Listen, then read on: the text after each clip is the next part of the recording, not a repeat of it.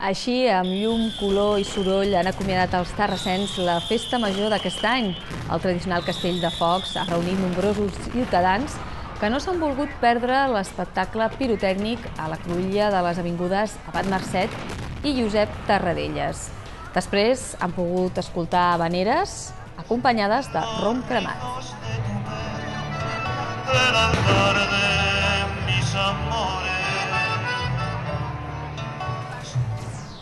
Hola, molt bona tarda. Benvinguts a l'informatiu de Canal Terrassa Vallès. Els hi mostrarem com ha viscut la ciutat aquest punt i final a la Festa Major, però també els parlarem d'altres temes que avancem en titulars.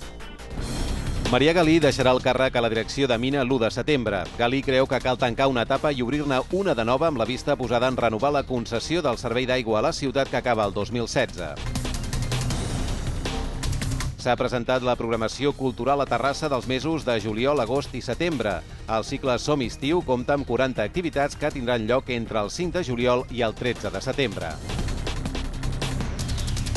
La festa major es tanca amb el tradicional castell de focs, les habaneres i el rom cremat, tot plegat per posar el punt i final a sis dies plens d'activitats per a tots els gustos.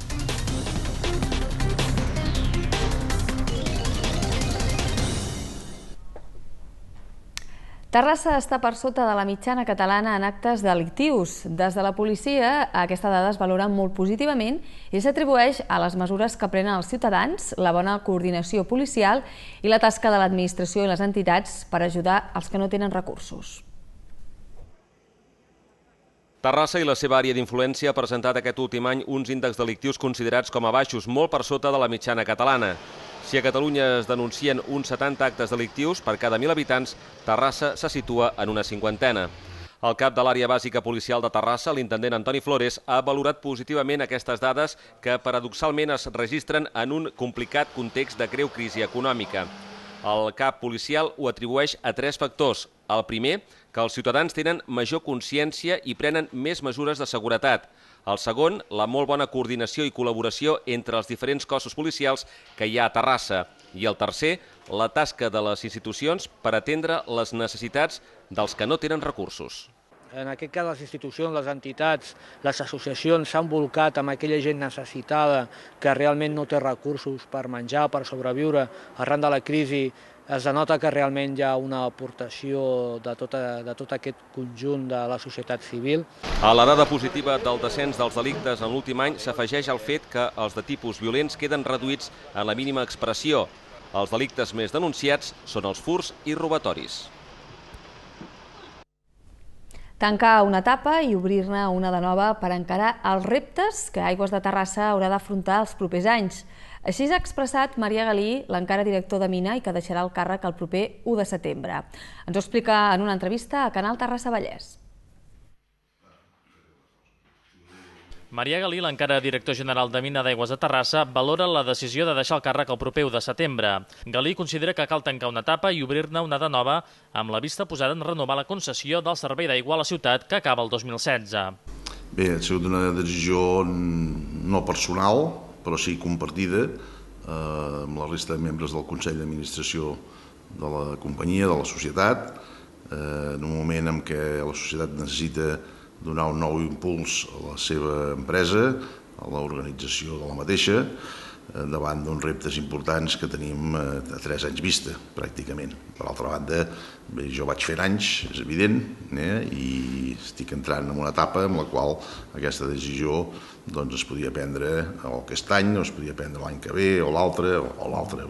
El millor moment era ara. Mm. Jo, jo crec que hem complert, hem complert amb el deure que teníem encomanat, que era continuar dotant a la ciutat de Terrassa i després, més enllà de la mateixa, d'un servei d'aigües eh, que possibilités una regularitat en el subministrament, una qualitat en el procés de servei que portàvem a terme. Nosaltres el que pensem és que ens hem de mereixer, ens hem de guanyar la confiança de l'Ajuntament de Terrassa eh, durant els propers tres anys perquè l'Ajuntament de Terrassa continuï confiant en nosaltres per prestar el servei d'aigües a la ciutat.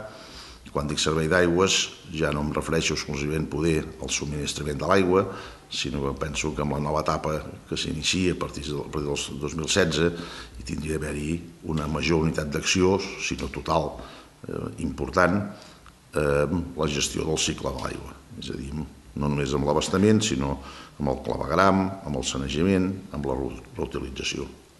El Consell d'Administració de Mina Pública d'Aigües de Terrassa es reunirà el 24 de juliol per decidir qui serà el nou director general de l'empresa.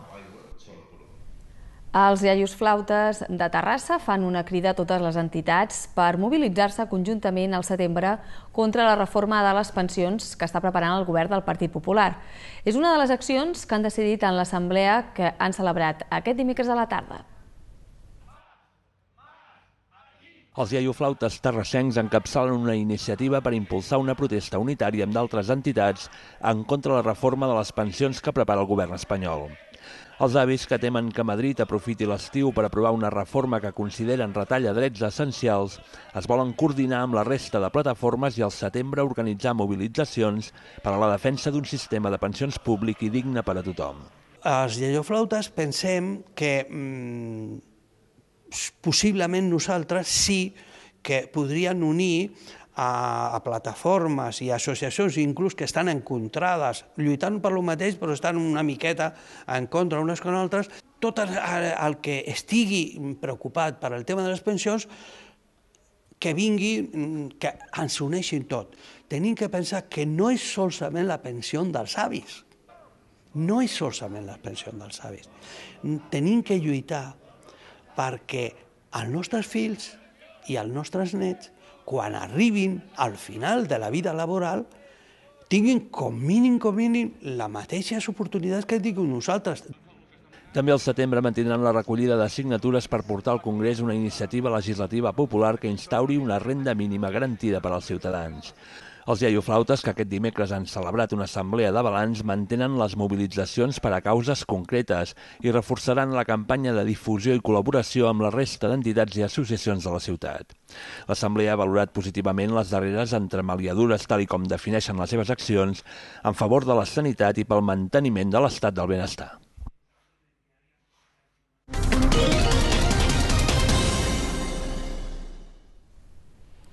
Avui comencem els esports amb hoquei i patins, amb les tres noves jugadores que ha fitxat l'Esfèric. Són joves i arriben amb ganes de competir a la màxima categoria. La quarta incorporació es podria concretar d'aquí uns dies. L'Esfèric incorporarà un mínim de tres novetats per afrontar una nova temporada a l'hoquei Lliga Femenina. Aquest dimecres el club agarenc ha presentat els fitxatges per l'equip de Guillem Pérez, unes incorporacions que reforcen la idea d'apostar per jugadores joves amb ganes de competir a la màxima categoria. La davantera Maria Leal, de 16 anys, és la més jove i l'única cara nova procedent d'hoquei Lliga, concretament del Club Patí Vilanova. Els altres dos fitxatges venen de Nacional Catalana.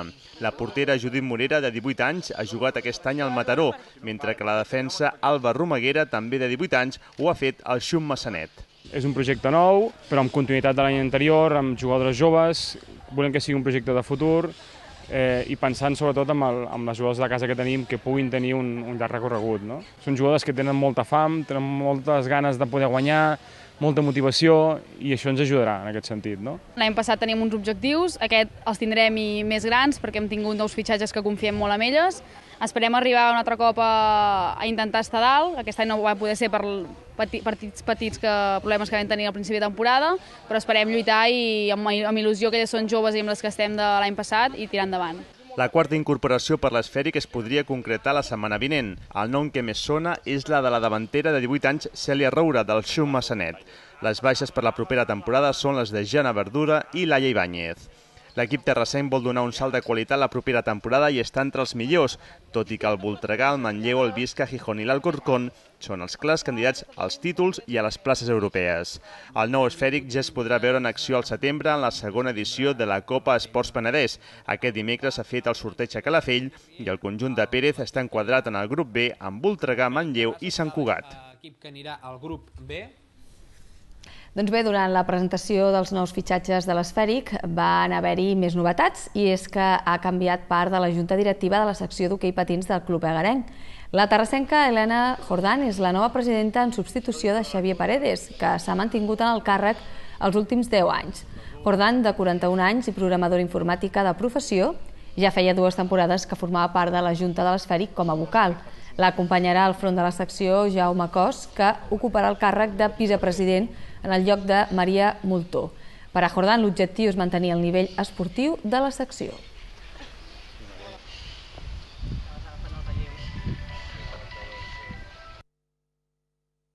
com a mínim mantenir-nos tal com estem, que donades les circumstàncies i la situació econòmica del moment, nosaltres no passem moments eh, bollantes, no? com anys enrere, però la idea és continuar treballant, anar millorant i a nivell esportius consolidar el que portem fins ara i millorar i, i sempre en amunt.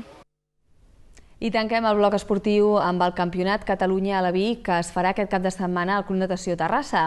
Les promeses de la natació catalana es donaran cita en aquesta competició, que serà un banc de proves de cara al Campionat d'Espanya. Hi participaran 400 nedadors d'entre 11 i 13 anys. Les instal·lacions del Club Natació Terrassa acullen des d'aquest divendres i fins diumenge el Campionat de Catalunya a la vida estiu de natació. La competició plegarà 400 nedadors d'entre 11 i 13 anys procedents de 64 clubs diferents. El campionat es desenvoluparà en 5 sessions pel format de contrarrellotge, aconseguint medalla als tres primers classificats de cada prova i edat i als tres primers equips en les proves de relleus. En la presentació d'aquest dimecres s'ha destacat la importància d'aquesta competició, ja que serà un banc de proves pel Campionat d'Espanya de la setmana vinent. Aquestes edats es consideren eh, de formació i aprenentatge, tot i que sí que és veritat que els que ja són les, el segon any que, que diguem que estan amb nosaltres, en l'equip Aleví, doncs ja comencen a, a, aprendre a competir. I per ells doncs, eh, aquest campionat serà també mm, més important, a part de perquè sigui a casa i més motivador, perquè a la setmana següent eh, podríem dir que el 90% de l'equip de segon any a la Vi té el Campionat d'Espanya a Manresa. El natació competirà amb un total de 22 nedadors i nedadores en les proves individuals i 6 equips en les de relleus. El campionat coincidirà dissabte amb una jornada de portes obertes en el que el club pretén que esdevingui un punt de trobada familiar tant pels socis com per aquelles persones que no ho són. Hi haurà tallers infantils, activitats dirigides i una gincana familiar. La vetllada conclourà amb un espectacle musical i una degustació de ron cremat.